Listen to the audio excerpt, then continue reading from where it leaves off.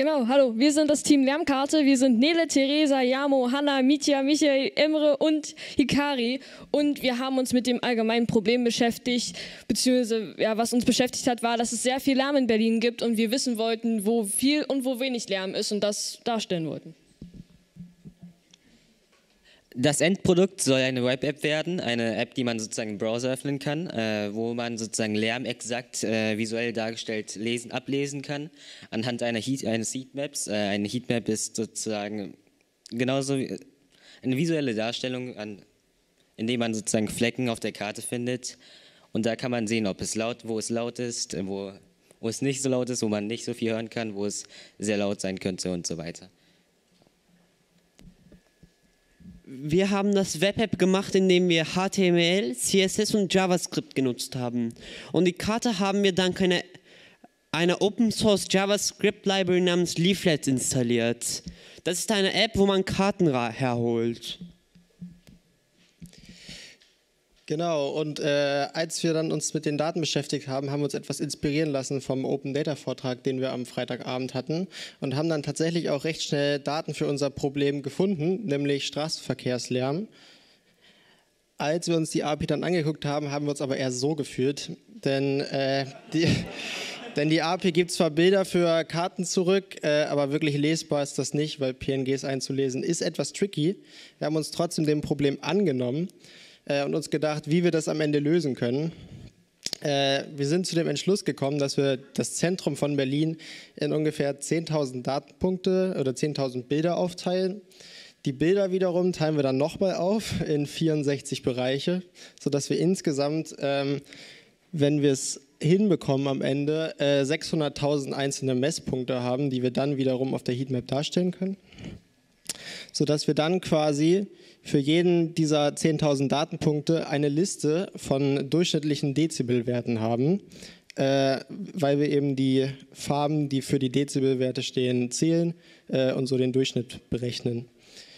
Sodass wir dann am Ende äh, für auch die Demo gleich äh, Daten abgespeichert haben, die das Backend lädt, äh, und zwar ungefähr 150.000 Messpunkte. Achso. Genau. Im Backend haben wir an sich äh, nur, nur Schnittstellen erstellt und damit die Verarbeitung der importierten Daten gemacht. Genau. Außerdem haben wir uns damit beschäftigt, wie man mit verschiedenen Sensoren Lautstärke wahrnehmen kann und die Daten verarbeiten kann. Dafür haben wir zuerst ein Python-Skript geschrieben äh, für unsere Mikro, äh, für unsere Laptop-Mikros.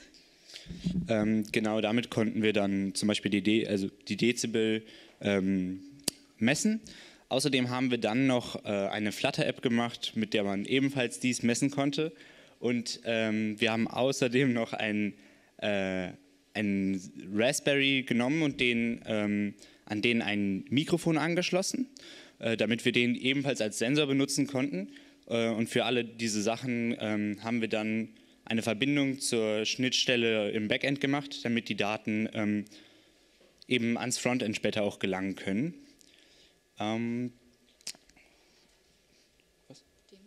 wir, wir hatten, haben noch eine, äh, eine Demo des Sensors.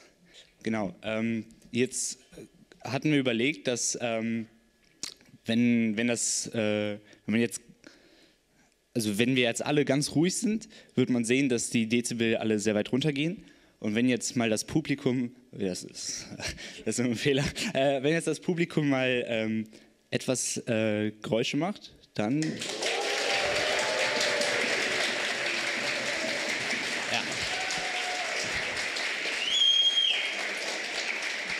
Genau, dann, dann, dann kann man eben sehen, dass da, da, kann man eben äh, die äh, Werte sehen. Ähm, diese würden dann eben ans Backend weitergeleitet werden. So, jetzt stelle ich euch ganz kurz die Lärmkarte vor. Im Prinzip kann man sagen, das ist halt so Art Google Maps, aber halt nur, dass die äh, gemessenen Daten halt im Umkreis von Berlin angezeigt werden. Dort, wo es rot ist, kann man halt sagen, dass es halt am lautesten ist und weiter, wo schon so gelb, grün geht, dass halt dort ruhiger ist. Ähm, unsere Ausblicke für die Zukunft sind äh, Erweiterungen an der Website. Zum Beispiel können wir ein Layout verbessern oder ein Design auch natürlich.